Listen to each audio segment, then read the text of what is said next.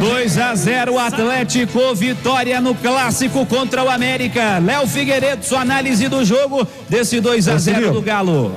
Muitas vezes a gente fala assim, Cirilo, jogo de dois tempos distintos. Esse foram quase três, porque o primeiro tempo teve dois momentos. Começou com o Galo bem melhor do que o América.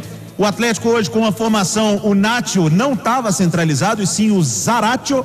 E foi um bom voto do Romano no Zaratio, que eu também pudesse incluiria nos melhores em campo.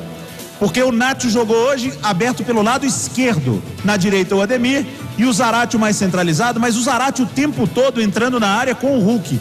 E como o Hulk não fica dentro da área o tempo todo, o Zarate talvez seja o melhor cara para fazer isso.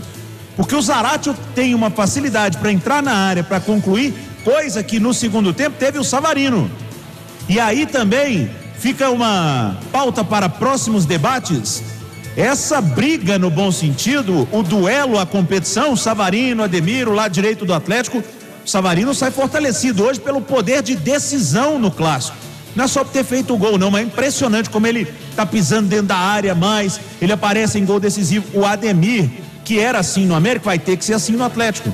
Senão ele perde a oportunidade para o Savarino. O Ademir começou como titular. O América tentando segurar o Atlético, veio com uma formação com dificuldades, porque não tinha nenhum cara muito de beirada de campo, de velocidade. Tinha o Mateuzinho, fez a sua estreia, mas ainda não está 100% o Mateuzinho, ficou um bom tempo longe. O América começou com o Henrique Almeida. O Henrique Almeida de centroavante é difícil, de ponta, não dá.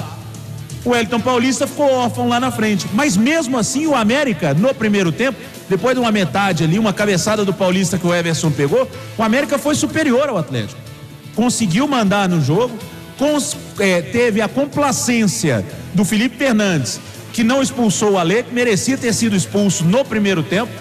No segundo tempo, voltou outro Alê. Alê só jogando bola, como tem que ser, porque é um cara importantíssimo para o América. E o Juninho deitou no primeiro tempo. O Juninho jogou demais na primeira etapa. Segundo tempo, completamente diferente. O Galo todo em cima. E aí, Cirilo, qualidade faz diferença.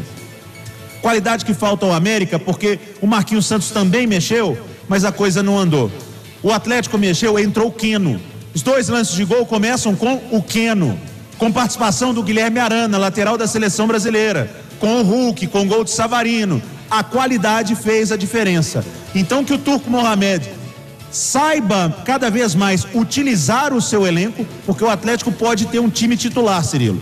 Mas ele quase tem um elenco titular, de tanto jogador bom que tem o Atlético para mexer nesse time.